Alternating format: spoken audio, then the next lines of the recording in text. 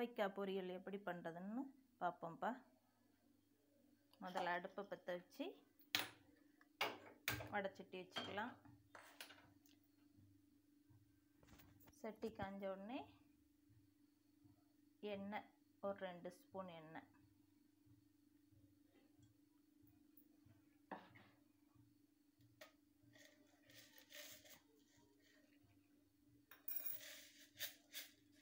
எண்ணெய் நல்லா காயட்டும்.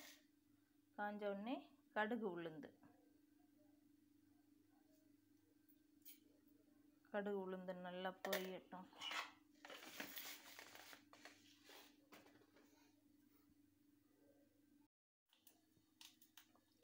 கடுகு வெடித்த உடனே சின்ன வெங்காயம் ஒரு அஞ்சாறு நறுக்கி பொடிசாக நறுக்கி வச்சுட்டு சின்ன வெங்காயம் போட்டு கருவேப்பிலை ஒரு ரெண்டு மூணு.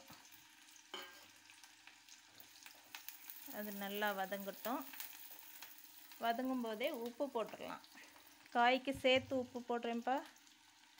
கால் கிலோ காய் எடுத்திருக்கேன். கால் கிலோவுக்கு ஒரு அரை ஸ்பூன் அளவு கல் உப்பு.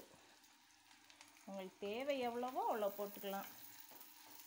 நாங்கள் உப்பு கொஞ்சம் கம்மியாக தான் சாப்பிடுவோம். வெங்காயம் நல்லா பொன்னிறமாக வரவும் காயை குட்டி குட்டியாக ரவுண்ட் ரவுண்டாக நறுக்கி வச்சுருக்கேன். இப்படி குட்டி குட்டியாக ரவுண்ட் ரவுண்டாக நறுக்கிட்டிங்கன்னா சீக்கிரமாக வெந்துடும்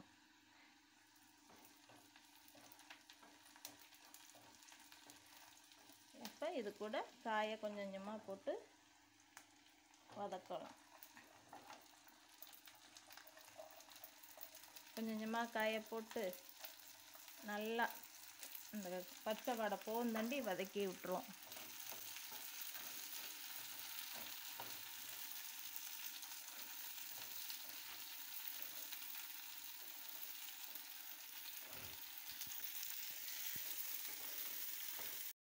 காய் நல்லா வதங்கிருச்சு. பச்சை வடையெல்லாம் போயிருக்கும். இப்போ அந்த காய் வேகந்தண்டியை கொஞ்சம் தண்ணி. ரொம்ப வேண்டாம் சீக்கிரமாக வெந்துடும் கொஞ்சம். காய் முங்குற அளவுக்கு தண்ணி ஊற்றினா போதும். அவ்வளோதான் அது வெந்துக்கிட்டு இருக்கட்டும். அதுக்குள்ளே தேங்காய்க்கு பதில் அதை நம்ம கடைசி வதக்கின பிறகு போடுவோம் இல்லையா? தேங்காய். அதுக்கு பதில் இப்போ நான் ஒரு பொடி போட்டு உங்களுக்கு காமிக்கிறேன்.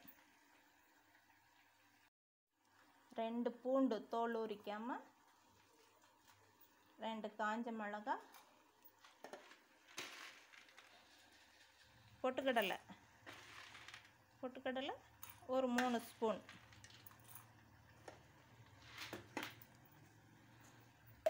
சீரகம் ஒரு கால் ஸ்பூன். இதை நம்ம பவுட்ரு ஆக்கிட்டு வந்துக்கலாம் மிக்சியில். நல்லா பவுடர் பண்ணிட்டு வந்தாச்சுப்பா. பொரிகடலை வத்தல் வெள்ளைப்பூடு சீரகம். நாளையும் சேர்த்து பவுட்ரு பண்ணிட்டு வந்திருக்கேன். இப்போ காய் தண்ணி வற்றி வதங்கிருச்சான்னு பார்க்கலாம். சூப்பராக வதங்கிருச்சுப்பா.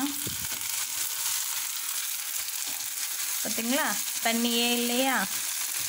நல்லா வதங்கிருச்சு. எண்ணெய் பிரிஞ்சு வந்துருச்சு இல்லையா?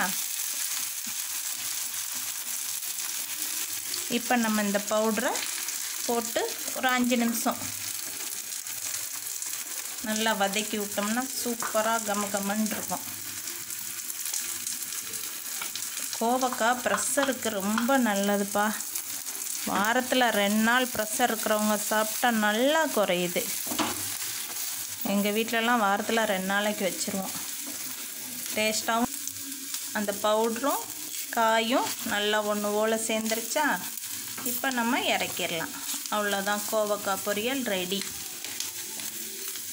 இதை நல்லா வாரத்துக்கு ரெண்டு நாளைக்கு வச்சு சாப்பிடுங்கப்பா. கண்டிப்பாக ப்ரெஷர் நல்லா குறையிறத நீங்களே பார்க்கலாம். அவ்வளோதான் முடிஞ்சது. இறக்கியாச்சு. இதை வீட்டில் செஞ்சு பாருங்கள் செஞ்சு பார்த்துட்டு சாப்பிட்டு உங்களுக்கு பிடிச்சிருந்ததுன்னா கமெண்ட் பண்ணுங்கள் சேனலை சப்ஸ்கிரைப் பண்ணுங்கள்